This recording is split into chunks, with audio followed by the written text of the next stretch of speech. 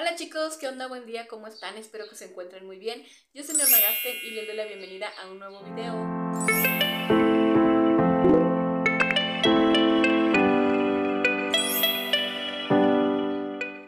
Oigan chicos, el día de hoy les traigo un video que es este pues un poquito diferente, digo, es dentro del contenido que yo estoy manejando, todo lo de la organización, pero es algo que no es directamente como mío, ¿no? Eh, les, estoy, les voy a mostrar un presupuesto que pude ayudar a una suscriptora a hacer. Ella me contactó y me dijo, oye, fíjate que tengo por ahí eh, pues tal presupuesto, pero no sé cómo organizarlo, no puedo, ayúdame. Entonces yo con mucho gusto lo hice, la verdad es que lo disfruté muchísimo y se los voy a mostrar. Esto yo ya lo hice hace algunas semanitas, ya se lo mandé a ella y como que sí le acomodó, parece que hasta ahí vamos bien pero yo le comenté a ella que quería hacerlo en un video para ustedes y lo hago con la siguiente intención. En mis videos cuando yo les muestro tal cual organización, mm, de repente hay comentarios así como que me dicen, es que a ti te alcanza porque tus hijos comen bien poquito, o es que pues tu esposo gana más, es que a mí me dan menos. Y muchas veces como que se enfrascan en eso, ¿no? De que pues es que a ella le alcanza por esto y lo otro y a mí no me alcanza porque me dan menos dinero porque somos más o por lo que sea. Eh, y nos enfrascamos a veces tanto en eso que pues yo es lo que yo les digo, es que hagan la organización para su familia, para ustedes, lo que ustedes necesiten. No es lo mismo los gastos que yo tengo a los que tiene mi vecina, aunque estemos aquí pegaditas, ¿no? Entonces, con esa intención lo voy a hacer para que vean otras cantidades, para que vean pues algo de manera diferente, pero pues la misma organización. Y esperando obviamente que pues eso también les ayude a tener como que un panorama un poquito más amplio y ya en base a eso también ustedes puedan armar su presupuesto. ¿Sale? Eh, fíjense que estoy muy contenta, la verdad es que disfruté mucho hacerlo porque eh, yo, a mí me gusta, de verdad me gusta como que ese tipo de organización. Yo soy una persona, o bueno, me considero una persona, no sé, porque por ahí dicen, ¿verdad? Dime de qué presumes y te diré de qué careces. No lo sé, la verdad, pero les voy a platicar a cómo yo me veo. Creo yo que soy ese tipo de persona a la que ustedes se acercan para platicarles algo, algún problema o algo. Y si ustedes me lo platican y no me dicen cómo ves, ayúdame o dame un consejo, o tú qué harías, o si lo estoy haciendo bien o no, o algo así. Si ustedes no me dicen eso, yo no voy a dar mi opinión. O sea, yo a lo mejor te escucho y si tú quieres llorar, lloro contigo, pero si tú no me dices cómo ves, yo no te voy a dar mi opinión directa. Entonces, este, y pues me gusta que me digan así como que, oye, ayúdame acá y yo poder hacerlo, ¿no? Eh, me pasó algo, déjenme les platico así rapidito, me pasó algo muy similar hace algunos mesecitos. Yo tengo una hija mayor, ustedes ya saben, ella ya está casada, ya tiene su familia, ya, pues ella tiene todo independiente. Y en algunas ocasiones pues sí me decía como que, híjole, ya no la hice, me faltó dinero para esto, me faltó para lo otro o algo así. Y yo eh, pues podía darle algún consejo chiquito, ¿no? Decirle, ¿y por qué no buscas si está más barato acá? O ¿por qué no lo compras todo junto? No sé, cositas así. Pero hasta ahí, no me inmiscuía más en decirle, estás haciendo las cosas mal o algo, ¿no? Hace un poco, hace algunas semanas, ella pues sí me dijo así como que, yo la noté más bien, no me dijo así tal cual, yo la noté como que me decía, oye, ¿cómo le haces para sacar el dinero de aquí? O de ese mismo dinero tú compras esto. Entonces yo como que pensé, dije, ya se quiere como organizar un poquito más en esa cuestión económica, ¿no? Y entonces yo le respondía a lo que ella preguntaba, ah, si yo lo hago así, ah, yo lo hago acá. Hasta que ya obviamente se abrió un poquito más y me dijo, es que quiero hacerlo así, pero no sé cómo. Entonces como que yo sentí que ya me dio pie ahora sí a pues a poder decirle, ¿no? Entonces sí ya le dije, mira, le puedes hacer así, puedes separar esta, hacer estas separaciones. Ella es una mujer joven, es una mujer adulta, pero es muy jovencita, entonces este pues su esposo igual, ellos quieren salir, quieren divertirse, quieren comprar, quieren gastar. O sea, uno de los consejos que yo le decía a ella es que no te prives, o sea, no te quedes ahorita así como que es que no hay dinero y no se puede yo nada más le decía, organízate, separa un poquito para esos gustitos, para que se vayan a cenar o para que pidan comida o algo. Y em, mídete, o sea, céntrate en ese presupuesto que es el que tienes y de ahí no te salgas, o sea, después van a venir tiempos mejores, después van a poder salir, irse de vacaciones y todo, pero mientras tú aprendes a organizarte, pues ahorita mídete. Entonces, eh, siento bien bonito porque ya después de algunas semanas ella misma me dijo, ¿sabes qué? Creo que ya la libré, ya la voy haciendo, ya me quedó dinero, Em, tiene un bebé chiquito, entonces ella me decía, se me enfermó el niño, pero tuve dinero para poder llevarlo al doctor, ya sin la presión de que, ¿y ahora qué voy a hacer? Entonces, este, o me decía, ya empezó la semana y ya compré todo lo de la semana, yo ya tengo eh, las cosas para hacer de la semana, ¿no? Ya no voy a necesitar, aunque me quede sin dinero, yo ya tengo para la comida de la semana. Entonces, esas cosas de verdad que me dan muchísimo gusto de poder, y más obviamente con mi hija, de poder decir, bueno, ayudé un poquito, puse mi granito de arroz este, para poder sacar esa situación. Y ahora que me contactó esta chica, pues la verdad es que también me gustó muchísimo. De hecho, me tardé un poquito porque fue la semana que estuvo aquí mi esposo y yo tenía unos videos pendientes, entonces le dije, espérame tantito, espérame tantito y le estuve eh, como que alargando eso, pero ya un día me senté y dije, a ver, ya voy a ayudarla. Ella me dio em, su ingreso total y su, yo le dije, ¿cuáles son tus pagos? O sea, ¿de ahí qué vas a pagar? Y ya ella me dijo, pues de ahí se paga esto. Ah, no, pues órale, yo ya me basé. Ella me dijo que tenía un ingreso quincenal el ingreso quincenal, me dijo, mira, yo gano esto, pero puede ser menos, porque pues por algunas situaciones. Entonces yo me fui al menor ingreso. Y luego me dijo, por ejemplo, de luz pago esto, pero ahorita estoy pagando mucho, en próximos meses voy a pagar menos. Yo me fui al máximo. O sea, en cuestión de ingresos al mínimo, en cuestión de gastos el máximo.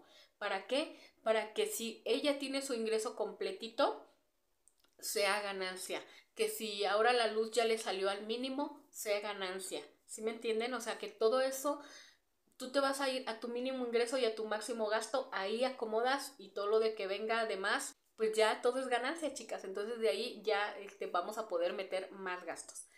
Ahorita yo les voy a mostrar eh, cómo yo lo hice. Les digo, yo ya se lo mandé a ella, ella ya lo revisó y parece que sí le funcionó, gracias a Dios.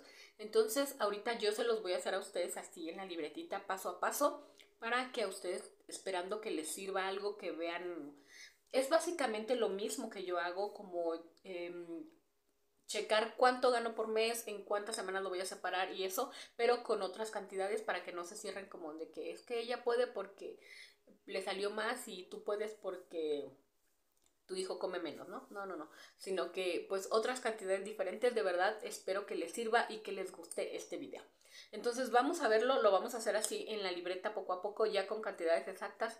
No les voy a decir el nombre de ella porque la verdad es que ni siquiera le pregunté si podía decir su nombre, entonces que mejor no.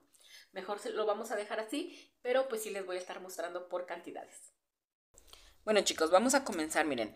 Ella me dice que tiene un ingreso de 8 mil pesos a la quincena. Pero que este ingreso pues puede bajar, ¿no? Puede ser seis, entre 6.500 pesos y 8 mil pesos. digamos que sus sueldos son 8 mil, pero de ahí, pues dependiendo de algunas cuestiones, a veces eh, no trabajan algunos días y pues les rebajan eso. Pero que el mínimo podría ser los 6.500 y digamos que el normal 8 mil pesos por quincena. Entonces nosotros vamos a estar trabajando sobre 6.500 para que no al rato, no, pues yo trabajo sobre 8.000 y resulta que gané 6.500, nos va a estar faltando ese dinero. Los gastos que ella me pasó son renta de 4.000 pesos, agua de 300 pesos, eh, luz de 2.600 pesos, gas de 600 pesos, internet de 900 pesos y pasajes. El pasaje me lo da así. El pasaje cuesta 8 pesos eh, ahí en el lugar donde ella vive. Y ahora yo les voy a platicar así un poquito a grandes rasgos, ¿no? Eh, la renta, pues esta se paga mensual, esta sí es al mes. El agua me dice que también la pagan al mes. La luz se paga cada dos meses El gas eh, lo pusimos así sobre 600 pesos porque me dijo, es lo que cuesta más o menos 600 pesos. Y yo le pregunté, mm, eh, cada cuándo, cuánto te dura un tanque de gas o cada cuándo tú estás contemplando esos 600 pesos. Y me dijo que más o menos cada cuatro meses. El internet es por mes y me dice que tiene dos hijos. Uno de sus hijos toma pasajes, eh, toma camiones, perdón, entonces paga pasajes. Solamente uno, la otra hija va y viene a la escuela caminando. Y entonces yo contemplando que toma un, dos pasajes diarios, ¿no? Uno, uno de ida y uno de regreso para la hora de ir a la escuela. Entonces yo lo contemplé así y también aquí lo vamos a poner ahorita por semana. De aquí yo voy a hacer la separación les digo, este es como que el gasto más alto, digamos, por ejemplo, en cuestión de luz, porque ella me dice que en cuestión de calor, pues esto es lo que está pagando cada dos meses, pero que pues cuando ya ahorita en estos meses que hace más frío, que ya no tienen como que prendido el aire acondicionado y eso, entonces pues ya le va a bajar, pero yo me estoy yendo a lo más alto, al 2.600 pesos cada dos meses. Bueno, chicas, ahora sobre esta cantidad de 6.500 pesos, yo voy a hacer las separaciones y se van a hacer quincenalmente porque así es su ingreso ella de renta tiene que separar dos mil pesos. De agua tiene que separar 150 pesos. Chicos, les dejo aquí un paréntesis que creen que yo estaba copiando las cantidades de otra hojita y me estoy dando cuenta ahorita que estoy editando que no copié la cantidad de la luz. Eh, ya en la suma total sí aparece, nada más que yo no la copié, pero la estoy contemplando con 650 pesos a la quincena para que pues en los dos meses me dé la cantidad de 2.600. Pero en la suma total sí está contemplada. De el gas es un poquito menos, eh, pero yo le estoy poniendo 100 pesos y dejar un poquito de margen porque no es como que el gas te dure exactamente los cuatro meses, ¿no? Como dice, a lo mejor ahorita ya no va a haber aire acondicionado, pero a lo mejor vamos a utilizar más el gas, no sé, para el boiler o para comidas calientes que van a ocupar más tiempo, entonces no sabemos si nos va a durar más tiempo. Entonces yo le estoy poniendo un promedio de 100 pesos a la quincena. De el internet le vamos a poner 450 pesos y de los pasajes, estamos contemplando que si el pasaje cuesta 8 eh, pesos, em, pues cada vuelta, ¿no? Digamos, y vas a tomar 10 pasajes a la semana, porque estoy contemplando que es solamente un, camión, digamos, de ida y uno de venida, pero pues son 5 días a la semana, son 10, pero como aquí lo queremos por quincena, van a ser 20, entonces necesitamos 160 pesos para los pasajes del el niño yo juntando dos mil pesos a la quincena, pues obviamente al mes voy a tener mis cuatro mil pesos para la renta y quedamos bien. Juntando 150 pesos por quincena, al mes voy a tener 300 pesos y quedamos bien. El gas, como les digo, si yo junto 100 eh, pesos por quincena, entonces en un mes estoy juntando 200 eh, pesos. En tres meses yo ya voy a tener los 600 pesos del gas. Me dice ella que le dura como cuatro meses, yo en tres meses ya lo tengo y ya lo demás ya es ganancia. De el internet, juntando 450 pesos a la quincena, yo en un mes tengo los 900 pesos que necesito para el internet y separando mis 160 pesos a la quincena tengo para los pasajes de, em, pues de la escuela del niño. Hasta aquí el gasto es de 3.510 pesos. También de este dinero, de estos 6.500 pesos, ella compra comida. Entonces yo le decía, yo te aconsejo que hagas separación. Bueno, primero vamos a hacer la cuenta aquí si quieren. De estos 3.510 eh, pesos menos los 6.500 que estamos eh, poniendo como de ingreso, restarían 2.990 pesos. Yo sinceramente me iría como a los 3.000 directos, pero lo vamos a hacer así exactito. Esto es lo que me está restando para comida de la quincena, porque recuerden que esto es quincenal. Entonces yo le decía a ella, yo te recomiendo que lo dividas por semana, porque a veces las quincenas, si de, plano no podemos organizarnos, de en serio que se hacen súper largas. Yo he tenido trabajos donde ganaba por quincena y eso era eterno. Entonces yo le decía a ella, haz separaciones, sepáralo esto entre dos ¿Por qué? Porque vas a hacer dos semanas. Y al hacer tu separación, cada semana te va a quedar de 1.495 pesos. Esto es lo que puedes gastar. Yo le comentaba a ella eh, qué más venía, por ejemplo, si su esposo pagaba pasajes de ahí, ella tenía que darle dinero, ella me dijo que no, que este dinero solamente era para estos gastos, ¿no? Entonces dije, ok. Y para, me dijo que también no tenía como un ingreso como de vales de despensa, como nada del súper. Entonces yo le dije, ok, separa tu semana. Tu semana ya te quedó de 1.495 pesos. Eso es lo que tú puedes gastar para comida. Pero yo le decía, tú como veas puedes hacer separación incluso de aquí para algo de escuelas porque no falta. Con niños en escuela siempre necesitamos como que ese sobrantito, ¿no? Que si le pidieron una copia, que si hay que hacer la maqueta, que si lo que sea. Entonces yo le decía, tú ve más o menos cuánto puedes gastar, a lo mejor 50 pesos a la quincena te alcanza, a lo mejor necesitas 100 eh, pesos por semana, no lo sé. Como les digo, aquí ya nos quedamos en semana, ya lo convertimos en semana. Entonces le digo, saca a lo mejor, eh, porque ella me decía que pues no era como que tanto gasto, pero dije, bueno, saca 45 pesos de aquí para que eh, tú tengas ahí para la copia, para lo que sea de la escuela. Y ahora te quedaron 1.450 pesos porque ya le quitamos los 45 pesos, ¿no? Esto es lo que vas a tener para tu semana, 1.450 pesos.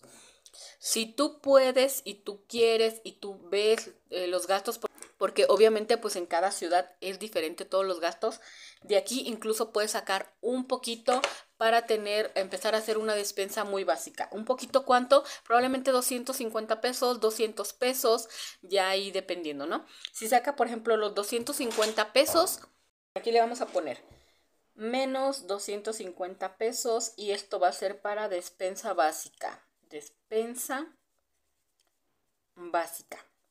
Entonces nos van a quedar 1200 pesos para comida de la semana. Comida de la semana que estoy hablando, carne, fruta, verdura, este, si de aquí le vamos juntando, que aquí ya le pusimos el arroz, que la pasta o algo así, y el aceite, pues bueno, esto ya probablemente nos puede alcanzar. Yo le decía, checa los precios en tu estado, en el lugar donde vives, porque hay lugares pues mucho más caros.